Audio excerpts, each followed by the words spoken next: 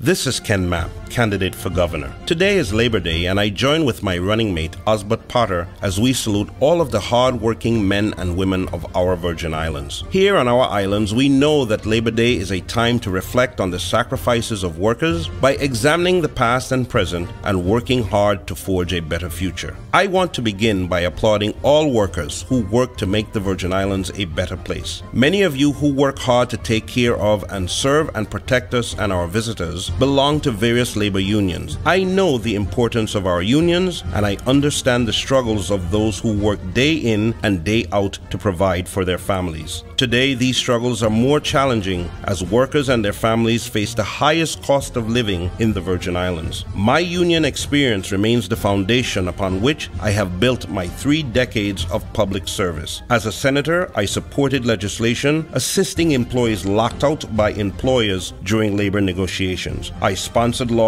improving retirement benefits for our first responders and reforms to our financial industry that helped to lower interest rate for consumers. As head of a government department, I worked hard to remove thousands of tons of expired food and medical products from store shelves that our residents were being exposed to. As Lieutenant Governor, I fought to educate and protect consumers by making sure all legitimate Hurricane Marilyn claims were paid, and I wrote and enforced an administrative order preserving the health insurance coverage for more than 30,000 Virgin Islanders. As your governor, I will continue to make the plight and struggles of workers and consumers a top priority of my administration. On this Labor Day, as we pause to honor workers, we must also remember our entrepreneurs and small business owners who create create jobs and help to drive our economy in what has been a most difficult environment. I am also fortunate to have had hands on experience in business that has given me strong insights into promoting economic development in the territory. I know what it means to struggle to make payroll every week and how to fight to keep the doors open. I have represented my business clients before regulatory bodies, ensuring that they remained open, keeping their employees employed, and satisfying the requirements of government.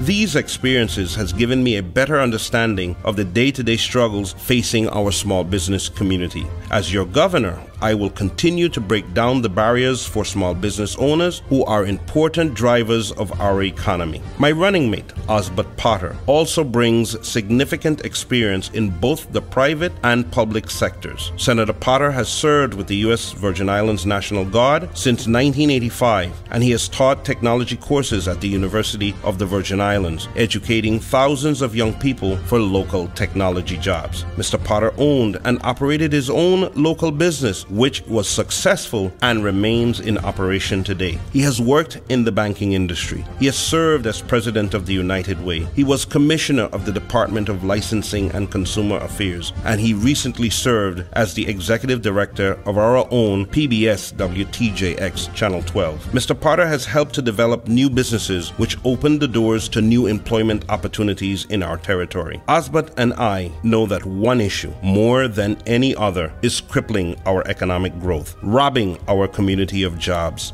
bankrupting our businesses, burdening our families, and that issue, that single issue, is the high cost of electricity. Our goal in office would be to help WAPA become more efficient and eventually generate electricity with 100% renewable resources. Not only would this generate cheaper and cleaner energy, but it will give us a pathway to grow our economy and create jobs. Under my watch as governor, I pledge to you that it will be a time to build a time to build a labor market that honors our workforce and acknowledges the qualification and expertise of our workers. As we look towards our future, we cannot forget the struggles and sacrifices of workers gone before us. Leaders with courage who sacrificed personally and worked hard on our behalf. David Hamilton Jackson organized the first labor union in 1913 and successfully fought for higher wages and fair working conditions. We remember D. Hamilton Jackson every year on Liberty Day, November 1st, but we must remember him today, Labor Day as well. I believe this election will be the most important election of our lifetime. A vote for Mapp Potter is a vote for solutions backed by deep management experience and an ability to bring back jobs as we grow and expand our economy. I'm asking you to support me as I work to become your next governor on November 4th. Vote for change. Ken Mapp for governor and Osbert Potter lieutenant governor. Number three on your ballot. Paid for by the Mapp Potter campaign.